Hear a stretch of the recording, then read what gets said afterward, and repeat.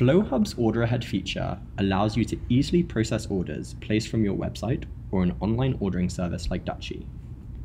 To view Order Ahead orders, navigate to the Order Ahead tab in the Cashier menu. Here is where you will view and manage the status of Order Ahead orders. New orders will appear in the New column, orders being fulfilled will appear in the In Progress column, and orders that are ready for pickup after the customer has been notified will appear in the Ready for Pickup column. We will start by fulfilling a new order from the leftmost section. To do this, let's click on a customer's order, Ben in this case.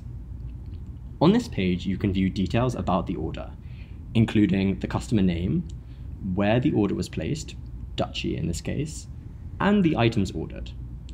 You can also view details about the customer, including the phone number and email address, in case you need to get in touch with the customer for any changes to their order. To begin fulfilling the order, find the relevant item in store and click the plus button. This will place the ordered item in the customer's cart. You'll notice the cannabis counter will also apply to the item in the cart. Once all items have been added to the cart, the customer is ready to be notified. A blue button will appear to notify customer order is ready for pickup. Clicking this button will send a text message to the customer, letting them know the order is ready for pickup. After Ben has been notified, he will make his way to the store and check in via the usual check in process. When it's time to check out Ben, you will need to first match the order ahead order with Ben's customer ID in FlowHub. To do this, simply click Checkout next to Ben's name in the Ready for Pickup column. A modal will appear with a list of customers already in the check in queue. Find Ben and click Open Cart. This will match Ben's order ahead order with his customer ID. Here is where taxes are applied, along with loyalty points and discounts.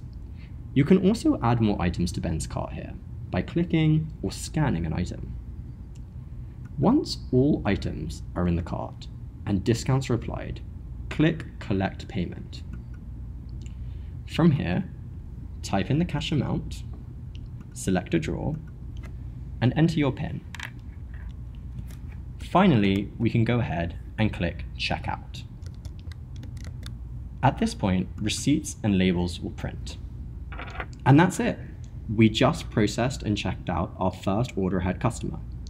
If you have any questions, please contact support at help at flowhub.com.